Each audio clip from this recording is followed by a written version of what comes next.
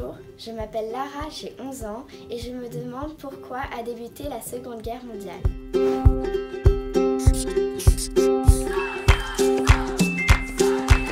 Peut-être de faire un film en Belgique.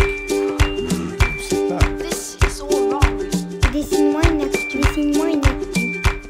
La Première Guerre mondiale, oui, on doit d'abord parler de celle-ci, s'est terminée en 1918 après quatre années de durs conflits. Mais tout n'est pas devenu rose après l'armistice. Les pays vaincus, dont l'Allemagne faisait partie, ont été forcés d'accepter des traités de paix assez sévères. Ils ont également dû payer des grosses sommes d'argent aux vainqueurs pour réparer les dégâts causés par la guerre. Leurs territoires ont été redessinés, leur puissance limitée. Cela provoque des tensions entre les États européens. Et puis, à cette période, l'Europe ne va pas bien. Tout est détruit, il faut reconstruire. La vie est dure. Au début des années 1930, une grave crise économique touche le monde entier. Chômage, grève, difficultés quotidiennes, les gouvernements en place peinent à résoudre les problèmes. Alors, les populations sont mécontentes. Et elles ont tendance à voter pour des hommes qui se présentent comme des sauveurs et qui proposent des solutions simples aux problèmes. C'est ainsi que dans différents pays, des dictateurs arrivent au pouvoir, des hommes qui gouvernent seuls sans être contrôlés. Ils utilisent la force pour gouverner, tout le monde doit leur obéir. C'est le cas de Mussolini en Italie, de Staline en URSS, l'Union des républiques socialistes soviétiques, de Franco en Espagne ou d'Hitler en Allemagne. Adolf Hitler veut agrandir le territoire allemand et même dominer le monde.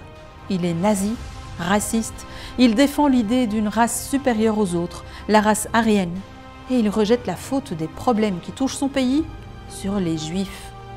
Hitler décide de renforcer son armée alors que c'est interdit par le traité de paix signé après la Première Guerre mondiale. Il fait alliance avec l'italien Mussolini et également avec le Japon. Au départ, les autres pays veulent préserver la paix, alors ils ne s'opposent pas à Hitler. Et puis, il devient trop tard pour réagir. En 1938, l'Allemagne annexe l'Autriche et s'empare d'une partie de la Tchécoslovaquie. En septembre 1939, l'Allemagne envahit la Pologne. La France et la Grande-Bretagne lui déclarent alors la guerre, et avec le jeu des alliances entre les pays, la Seconde Guerre mondiale est déclenchée. L'Allemagne continue à envahir des pays, le Danemark, la Norvège, les Pays-Bas, la Belgique, etc. Cette guerre fait énormément de morts, environ 50 millions de personnes, dont énormément de civils et 6 millions de juifs. Les Allemands avaient mis en place un système d'extermination de masse pour tuer le plus possible de juifs à travers l'Europe. La Seconde Guerre mondiale se termine en 1945 par la défaite de l'Allemagne. C'est pour éviter que ne se reproduise ce genre de conflit que différents pays européens ont entamé, quelques années plus tard, le processus de construction d'une future Union européenne. Mais ça, c'est une autre histoire.